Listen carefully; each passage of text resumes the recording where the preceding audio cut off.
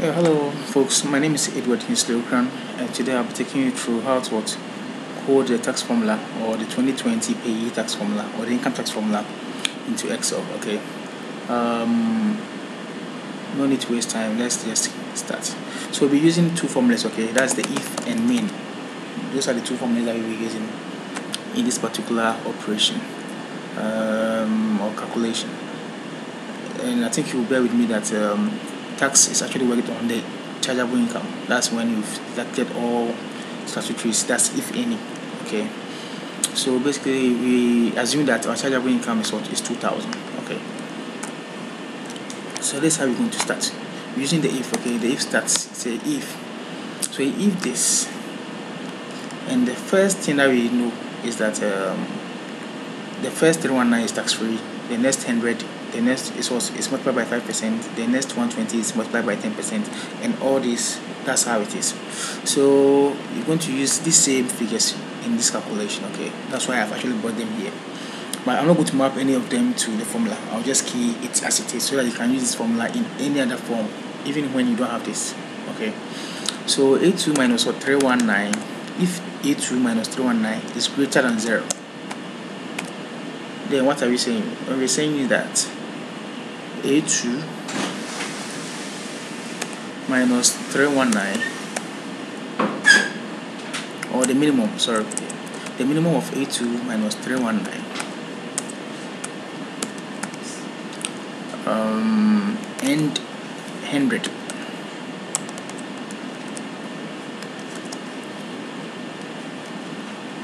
should be multiplied by what? 5 percent if it's false then bring zero. There okay. So basically that's what we're saying. And let me just explain again this little that I've done here because this is what we'll be replicating all other steps okay? So what we're saying is that this if this chargeable income minus the first tax free is greater than zero then what we're saying is that Excel should look at the minimum of what? A2 minus 319 which is this 2000 minus 319 and 100 the least of it so if A2 minus 319 is let's say is equal to let's say 1000 then Excel should pick 100 and not 1000 because 100 is the minimum of 1000 in this particular situation. Okay. Okay. So I multiply by 5 as we do. Because if the first tax free is 0 then or if this one is greater than 0 then A2 the chargeable income minus 319 the minimum of it in 100 should what be multiplied by what? The first percentage that's what 5 percent. I don't if I'm making sense so so be replicating this same concept in the um, in the next steps in the next 100 in the next 120 in the next 3000 in the next 16461 and also exceeding 2000 so no need for me to repeat this whole thing again. I can just copy what I've done first. I can just copy this one. Okay and just bring my addition sign and paste this. And just change some few things because it's not the same. The next step is what? If a2 minus what? The cumulative this is the cumulative chargeable income. Is what? Minus 419 is greater than 0 then the minimum of a2 minus 419 okay? And the next 120 okay multiply by 10 percent should yeah. So basically the same thing that we're doing here. So we're saying that if a2 minus 419 is greater than 0 then the minimum of a2 minus 419 or Excel should pick the minimum of a2 minus 419 or 120 so you either you pick either of these the minimum of either of these two. Okay and multiply by 10 plus the same step again I'll just paste what I did earlier on and just change some few things. It makes it easier because you don't have to go through the basics. You have to change some few wordings in there. This one is one what it's rather 3000 sorry. 539 the minimum of this and what? And 3000 times 17.5 17.5 if it's false then it should be 0 okay. Plus you can paste it again. So at the end you don't, you don't get confused at the end of the day. Okay. So right now we've moved to if what a2 minus what using what? The chargeable income the cumulative chargeable income. So we've gotten to 3539 is greater than 0 then the minimum of this minus 35 the, or that's the, or the chargeable income minus the cumulative chargeable income 39 and what? The minimum of this and 16461 times what? 25 percent. Okay. The minimum of that should so if this minus this is what is greater than 16461 then excel automatically pick 16461 and multiply by 20 and vice versa. And if 16461 is rather greater than this then excel should rather pick the minimum and multiply it by what? The rate. Again bring your plus okay? Then you paste this. If a2 minus what? The next one is what? Is 2000 it's greater than 0 the minimum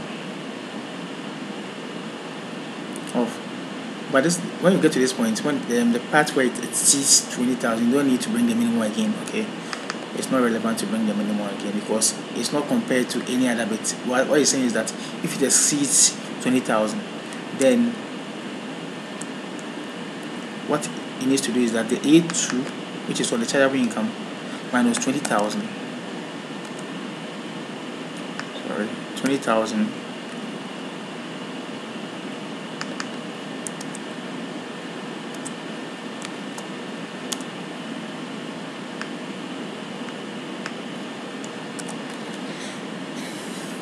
times 5% and if it's false just what? Return 0 so this is basically how it is. So let's see if what we've done is correct. Enter. Okay so we had 272.675 as our tax. So um, interestingly GRA has this particular um, app okay? You can try to check with it if that's exactly what it should retain okay? If exactly what it should retain. So this is basically how it is. So you're using just two formulas. You're just merging two formulas to, to get a result that you need uh, you're using what the if and the mean. A recap of what we've done so far. So we said that if what this chargeable income minus the first 319 is greater than zero. Then what you're doing is that excel should take what the minimum of the a2 minus 319 and 100 and multiply by what the rate. Okay so we move through the steps.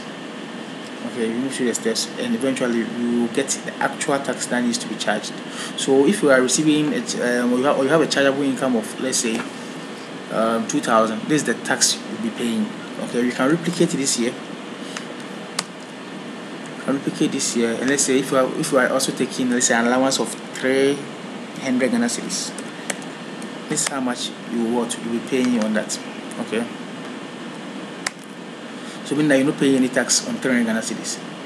You getting? Because the tax said that the first 319 is tax free. Okay, what if I'm taking, let's say, a chargeable income of 400? Mean that will, there will be a charge of 4 cedi, 5 pesewas on how much I'm taking. That's if the chargeable income is what is 400. So you can try this and you can test it with the apps that you have because GRA has a, an app on Android um, Play Store. Um, and also they also have um, I think they have also have the PAYE tax formula. You can do that to check what you you've done so far if it's correct. But either ways, believe me, you if you go through this religiously, holistically as it should be, you should be able to retain the right values and the right figures as it should be. So thank you folks for watching. And you can subscribe to my channel on YouTube. The name is Edward Kingsley I haven't changed anything. So you can subscribe to learn more. I'll be placing this the link to this video on LinkedIn on my Facebook page um, so that you can have access to it. You can also share your comments on each of them hosting that I'll be doing. Or if you have anything that you want to ask me to you can also ask me. So how you go through. Okay god bless you and thanks for watching